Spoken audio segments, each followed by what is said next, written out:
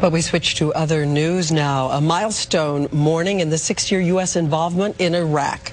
U.S. combat troops have now withdrawn from 15 Iraqi cities.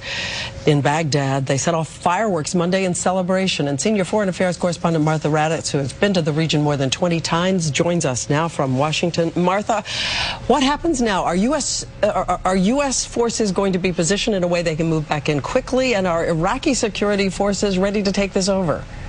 Uh, well, U.S. forces can definitely go back into the cities. In fact, they will have a presence in those cities that they have withdrawn their bases from. They will be with Iraqis in those cities, Iraqis taking the lead. And U.S. military officers do believe the Iraqis have come far enough to take over these cities. But look at the numbers. The U.S. still has 130,000 troops in Iraq. We started at about 145,000 during the invasion.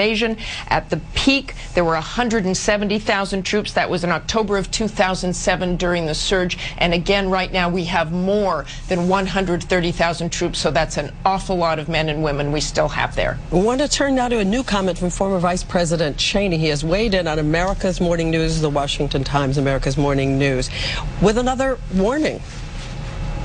One might speculate that the the insurgents are uh, waiting, and, and as soon as they get an opportunity, they'll begin to launch more attacks. I hope that's not the case.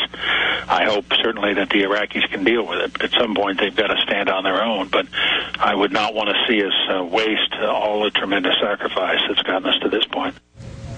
I feel that's a pretty remarkable statement, Diane, because it was the Bush administration that signed this status of forces agreement with the Iraqis calling for this exact kind of drawdown. That's right. This is not the Obama administration's move. This is negotiated all last year. Was negotiated Absolutely. all last year by the Bush administration. Yes, it was. All right, Martha, thanks so much. As we said, whatever happens next, it is a kind of milestone this morning in Iraq.